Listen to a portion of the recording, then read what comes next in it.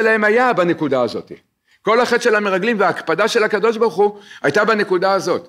לכאורה, אם הם רואים כל כך הרבה דברים, ויש להם חשבונות שגם בפשטות צודקים, אתם צודקים, יש פה, כל מה שהם ראו, הם לא היו מדומיינים, הם היו אנשים במדרגה רוחנית מאוד גבוהה, הכל אמת.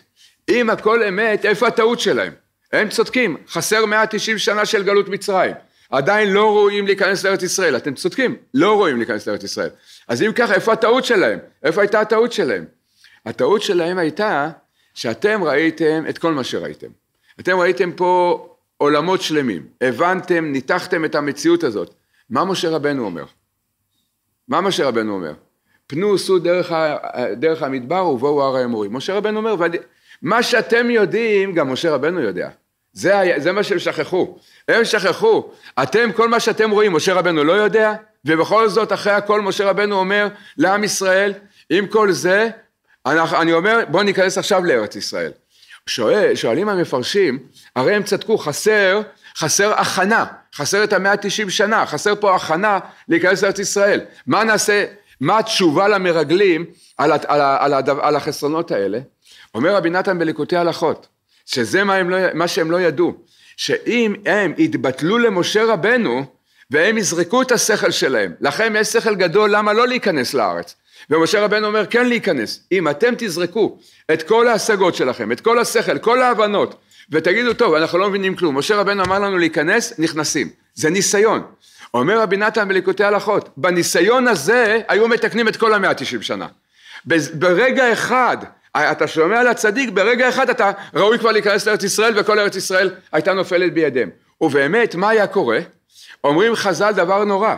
אילו עם, אילו עם ישראל היה שומע למשה רבנו, היו נכנסים לארץ ישראל בשלושה ימים, לא היה שום מלחמה, שום בירור, לא מה שאתם ראיתם, שום בירור לא היה. למה לא היה שום בירור? כי בעצם ההתבטלות שלכם למשה רבנו, ושהייתם זורקים את השכל, והייתם מקבלים את ההוראה ואת העצה של משה רבנו, בוא ניסע, בזה הייתם מתקנים את כל ארץ ישראל, את כל קדושת ארץ ישראל הייתם מתקנים בזה. הכל היה כבר מוכן, לא היה מלחמות, היה, היו באים עננים, לוקחים את עם ישראל לארץ ישראל, והעננים האלה היו מסלקים את הגויים. את הגרגשי זורקים למרוקו, ככה היה, באמת הגרגשים עברו למרוקו.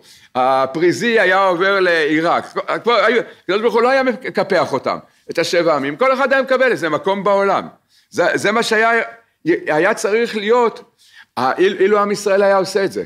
לכן עומק הניסיון של עם ישראל היה, של המרגלים ועם ישראל היה באותו רגע, שאתם רואים השגות אמיתיות, אתם רואים דברים גדולים, אבל תזכרו שהמנהיג שלכם זה משה רבנו, ומשה רבנו רואה מה שאתם רואים, אבל הוא רואה גם יותר ממה שאתם רואים. ואם הוא אומר בואו ניסע, אז צריך לקבל את דבריו ולהתבטא לזה. הנקודה הזאת, הנקודה הזאת, אמרנו שהתורה היא נצחית. ובאמת, בכל דור ודור, ובכל זמן ולכל אדם יש את הניסיון של האמונה בצדיק. זה לא, זה לא רק הניסיון, זה שורש, זה שורש למעשה לאין ספור ניסיונות שעוברים על כל אחד ואחד מאיתנו עד, עד ימינו אנו. דוגמה, דוגמה לדבר, שקודם כל עם ישראל יש לו ניסיון לחפש ולהבין מי זה המנהיג האמיתי של עם ישראל, שזה משה רבנו.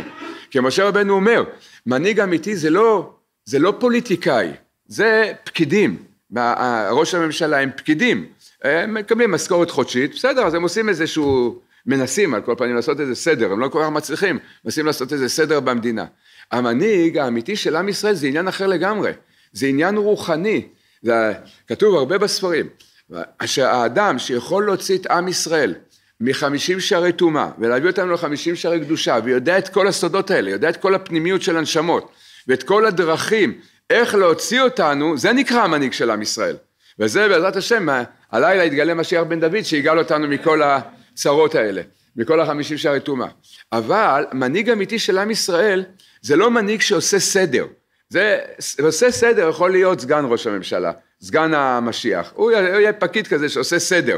אבל במהות העמוקה של עם ישראל זה, זה לחפש את המנהיג הרוחני שיכול להוציא אותנו מהמקומות שבו אנחנו נמצאים ולהביא אותנו לקדושה, להוציא אותנו מחמישים שערי טומאה, להביא אותנו לחמישים שערי קדושה.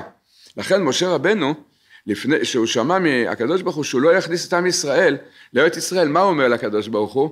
אל אלוקי הרוחות יפקיד איש על העדה, אשר רוח בו, אשר יוציאם ואשר יביאם. יוציאם משערי טומאה ויביאם לשערי קדושה. שזה נקרא המנהיג שמופקד על, על העדה. אז בכל דור ודור יש גם לנו ניסיונות, בגלל מה שהיה במדבר, בגלל חטא המרגלים, גם עכשיו יש בתוכנו, בתור, בכלל ובפרט יש את העניין הזה של חטא המרגלים. דבר ראשון זה, תיקון, התיקון הראשון של זה, זה קודם כל לחפש ולבקש, כמו שהלשון של רבנו אומר, צדיק כזה שיוכל לברר איתנו את כל מה שאנחנו צריכים לברר בעולם הזה. את כל, את כל הבירורים שאנחנו צריכים לברר בעולם הזה, צריך צדיק כזה שיעשה איתנו את כל הבירורים האלה. נכון, צריך לכבד כל יהודי. ואם, ואם הוא תלמיד חכם, ודאי ודאי שצריך לכבד אותו.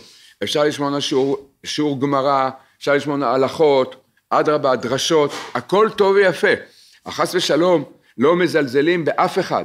אבל רבנו אומר, אבל זה לא הצדיק שהוא מנהיג את עם ישראל ומוציא אותנו משערי טומאה ומכניס אותנו לשערי קדושה. זה עניין אחר לגמרי. לכן, בתורה האחרונה, אמר רבנו, בלשון הזאת, וצריך לחפש ולבקש מאוד מאוד צדיק כזה שיוציא אותנו מהמדמה שלנו.